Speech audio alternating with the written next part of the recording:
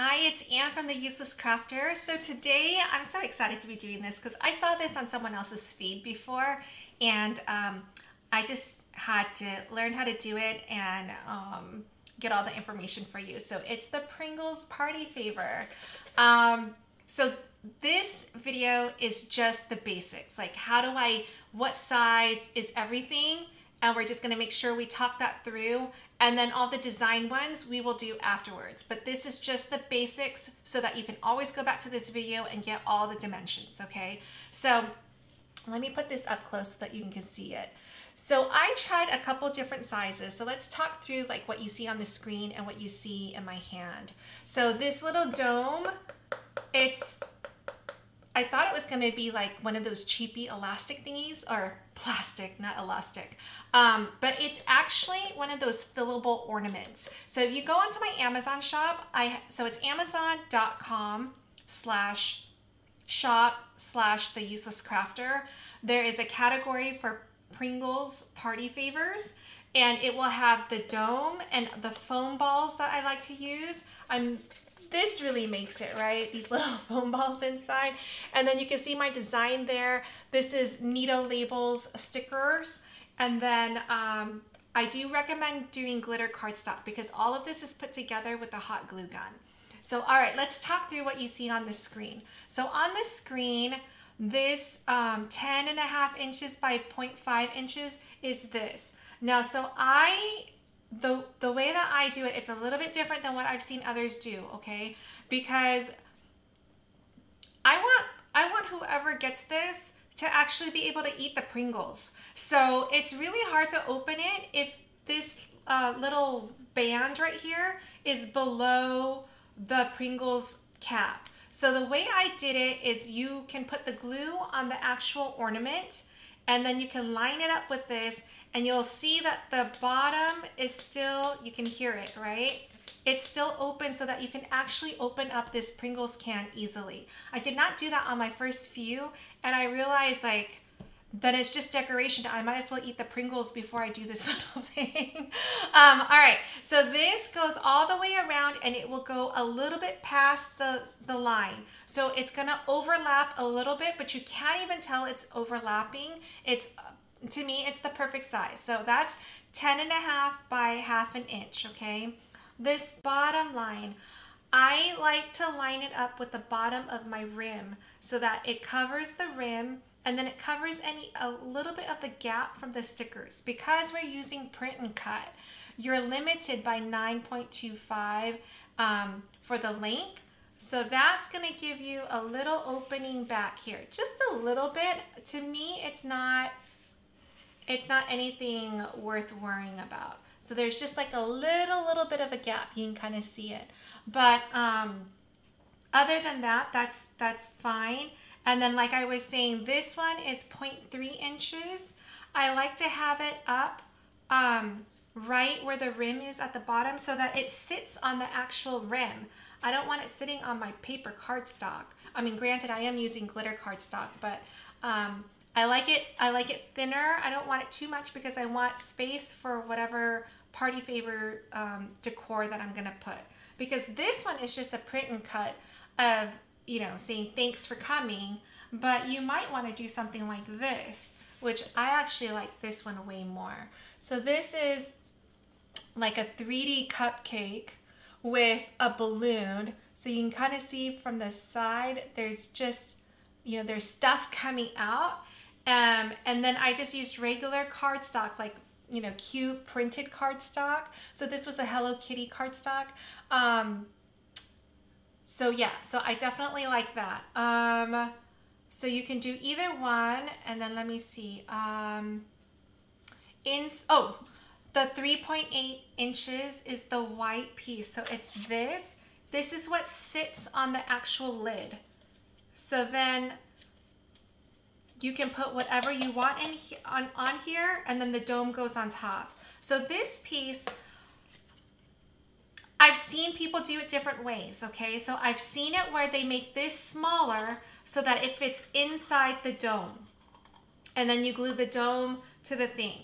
I kind of like it bigger than the dome and it's just slightly bigger. So at 3.18, there's enough for the glue to come down and keep the acrylic like this so that you can keep all your like the foam balls in. Um, I just feel like it's better that way because I want to glue my dome. Whoa, sorry. I want to glue my dome to the paper. I'm using hot glue gun. I don't want it to go onto this little cap thing because the cap thing doesn't take glue gun, uh, like the, the glue that, all that well. I mean, it, it dries. Assuming that you don't mess with it, then it's okay. But as soon as you start messing with it, you can actually peel off your glue. So I want this dome to actually be attached to my paper. So that's, anyway, that's 3.1 inches for the circle. And I think we have, ever, oh, inside the dome. So you see my Hello Kitty bow. And then on this one, it's a name, Charlo, with stars inside. So um, inside the dome, I would say the maximum height is 1.5. I did a little bit bigger than 1.5 and I could feel it as I put the dome down. I could feel it pressing against the cardstock. I mean, not a big deal. I mean, yeah, it's not a big deal, but then it's like you should have it not be pushing against your cardstock. Um, so 1.5, okay. All right, I'm just gonna show you how to get these pieces, okay? So your circle, of course, you're just gonna go to shapes and insert a circle. And as soon as it comes up, all right, so here, I'm not gonna mess with this button here to make it bigger or smaller. I'm just gonna go into my size and do 3.18, right? So there's, there's my circle. Now let's do the top band. So you go to shapes, square, and this gets really, really easy. All you do is you unlock it, then go up here to your size, type in 10.5, tab, 0.5, tab, and there's your top one. And then I just duplicate this, or you can bring in another square, it doesn't matter. Unlock it, and then put in your next measurement, which is 9.385 tab, 0.3 tab, and that gets resized. Okay, this is your print and cut. So whatever you flatten, you can put here. Um, I even have, let me, well, let's do the shape first. So let's go to the square. Unlock. Let me move this down so I can see my measurements. It's 9.25 by 3.2. Okay. Um, what was I going to show you? Oh, right. so let me make that white. You could, I'm going to go to upload for a second because I recently uploaded it. I'm going to insert it. It's the actual Pringles cal calories, like nutrition, oh, nutrition facts. So you can actually have that printed here. I mean, of course, you need to trim this a little bit better, but you can have it here and print out. So I did have that on this one. So here's the front, which is thank you for coming to my party. And then here's the Pringles label. So if you wanted to, I've seen people do really cute things like changing calories to fun. And then over here, it's like a lot or. Laughter, 10 laughs, like whatever. So you could do that or you could actually put in the actual nutritional facts. Um, Ah, my design space has been doing that quite a bit where things disappear. Um, if you have this image, like I have the stars, like I said, make sure that your height is under 1.5.